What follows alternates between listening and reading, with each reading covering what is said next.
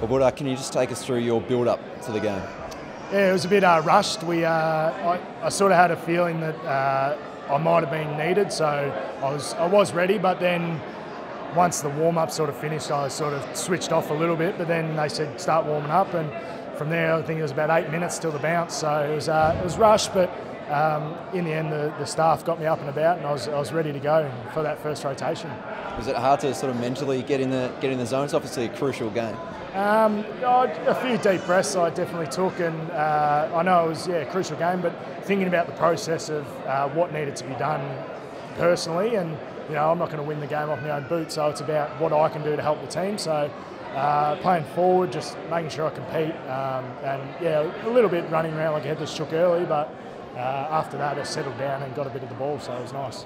How have you found this season for yourself uh, personally? We know uh, played earlier in the year against Carlton, but found it hard to break in. It's been a, been a tough side to get into, and you've been playing some really good footy at VFL level. How have you found it? Yeah, it's been difficult because uh, at VFL level, I've been pretty consistent. Uh, probably moved around a fair bit between back, mid, and forward. So uh, I was probably lucky that I've played forward the last sort of three, four weeks and played it pretty well. So when there was a forward needed role needed to be filled, they, they thought of me, so that, that was always good. So, um, but for me, it's just about with VFL teams got a final ga- a game next week, final. So, being ready to go for that, and um, yeah, see what happens.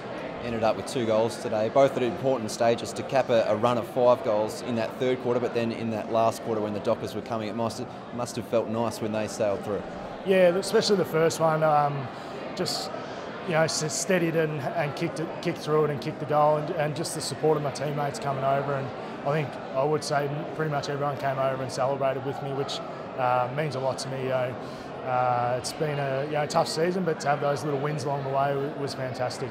You were the first of the returning players to, to sign on back in April last year, and now you're a week or so away from a finals campaign. How does that sit with you?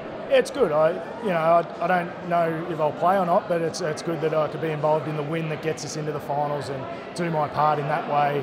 Uh, I, you know, the boys are going to be fantastic. They've come a long way in, in the last couple of years, so uh, it's just good. And we, you know, the fans have been terrific as well. It's coming to support us, and uh, it's good to obviously get a win for Jobe uh, in his last home game, and obviously Cal's as well. So it's been fantastic.